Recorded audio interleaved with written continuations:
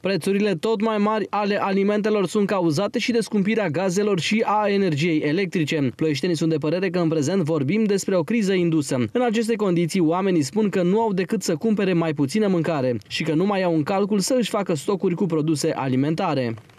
Ce să spun? Este o criză indusă de unii care vor să se îmbogățească și fraierii cumpără. Aia e toată treaba. Cum veți face față acestei perioade?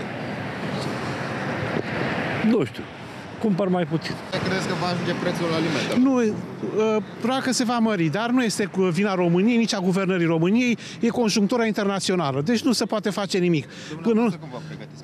pentru o majorare? Sunt foarte calm, liniștiți și vedem ce va urma. Nu Bă, faceți asta e cea mai mică problemă care se întâmplă. Ce provizii sau Nu, nu, clar nu. Măsurile au luat o rază în această perioadă. Cum veți face față dumneavoastră? Ce prețuri? La ce anume? Ne aliniem, nu avem ce face. Da, luați în calcul să cumpărați alimente mai Nu, multe de acum, nu. să faceți stocuri și... Nu, pentru că uh, în pandemie am făcut această greșeală. Am rămas cu niște stocuri pe care apoi le-am împărțit uh, diferitelor persoane. Nu, nu. Mulțumesc frumos!